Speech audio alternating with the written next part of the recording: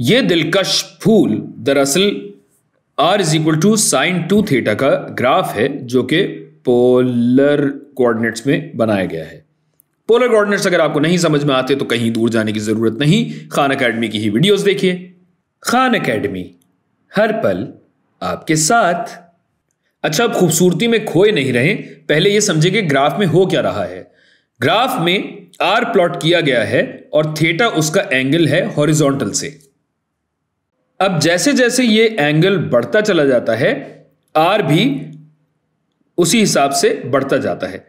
किस हिसाब से? साइन टू थीटा के हिसाब से आर बतदरीज कम और ज़्यादा होता रहता है। अब जब थीटा पाई बाय चार के बराबर होता है क्वार्टर पाई के बराबर होता है तो आर होता है साइन पाई बाय टू के बराबर, जो कि आप जानते हैं एक के बराबर होता है, जिसका मतलब यह है पैंतालीस डिग्रीज पे। पाई बाय चार पे आर मैक्सिमम है। अब जब थीटा पाई बाई चार से बढ़ के पाई बाई टू की तरफ़ आता है तो आर कम होता जाता है और कम हो हो के सिफर हो जाता है।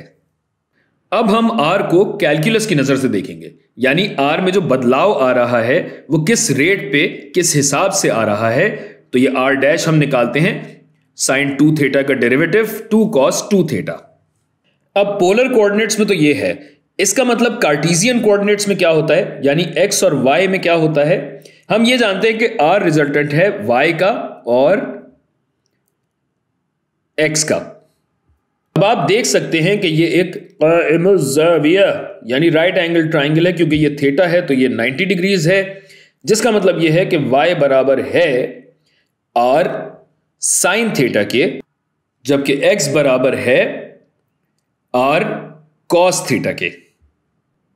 तो ये आपका आर है और इसको अगर मैं मिटा के दूसरे रंग में लिखूं तो ये आर डैश क्या था? टू कॉस टू थेटा और अभी हमने देखा कि वाई क्या है?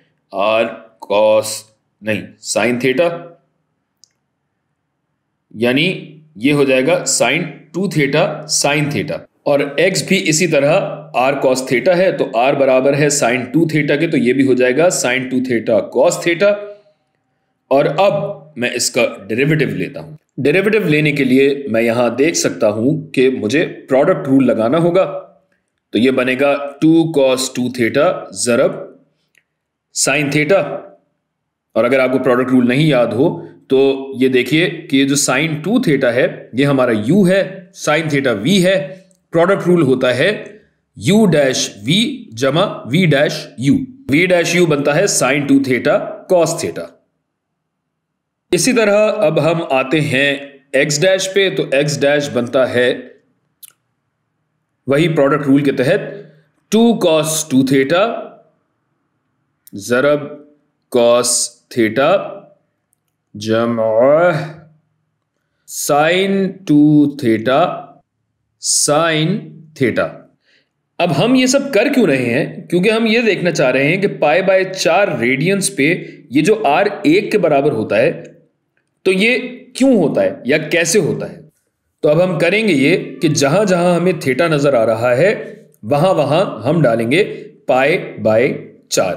तो ये हटाया ये हटाया, और एक्सक्यूज मी जगह दीजिए थोड़ी। यस यहाँ पे ये ये पाए बाय चार और ये पाए बाय चार। ये हटाया फिर, उसके बाद फिर यहाँ पाए बाय चार और ये भी पाए बाय चार। फिर ये टू वहीं रहेगा, पाए बाय चार। ये थीटा इसकी जगह आया पाए बाय चार, और फिर ये भी पाए बाय चार, इसको एक सेकंड ये पाए बाय चार। और इसको थोड़ा सा यहाँ करेंगे, और फिर यहाँ लिखते हैं पाए बाय चार। समझ गए आप? थोड़ा सा कट गया वहाँ पे जगह कम है बहरहाल, अब आप कैलकुलेटर इस्तेमाल करें, दिमाग इस्तेमाल करें, हाथ इस्तेमाल करें, मुझे नहीं पता, लेकिन इसको कैलकुलेट जब हम करेंगे तो वाई डैश हमारे पास आता है अंडर रूट दो बटा दो, जबकि एक्स डैश जो हमारे पास आ रहा है, वो आ रहा है मनफी अंडर रूट दो बटा दो। और ये बात थोड़ी सी समझ में भी आती है कि देखिए, y आपका क्या हो रहा है? y यहाँ पे बढ़ता जा रहा है, इसलिए मुस्बत है।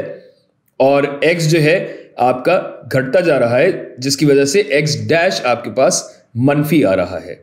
ये ऊपर जा रहा है, ये लेफ़्ट तो अब ये तो तब्दीली जो आ रही है, ये थीटा के हिसाब से आ रही है। अब अगर हम D Y by D X निकालें कि वाई में एक्स के हिसाब से क्या तब्दीली आ रही है तो क्या होगा भाई?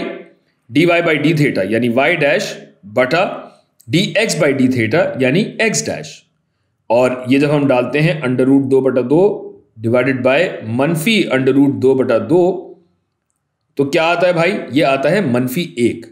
यानी R is equal to one जो कि पाई बाय चार पे है, उस पर अगर मैं ढलान बनाऊँ तो वो ढलान मनफी एक आनी चाहिए और वो आ रही है। और यूँ हमारी तस्दीक हो गई कि पाई बाय चार पे आर एक के बराबर होगा।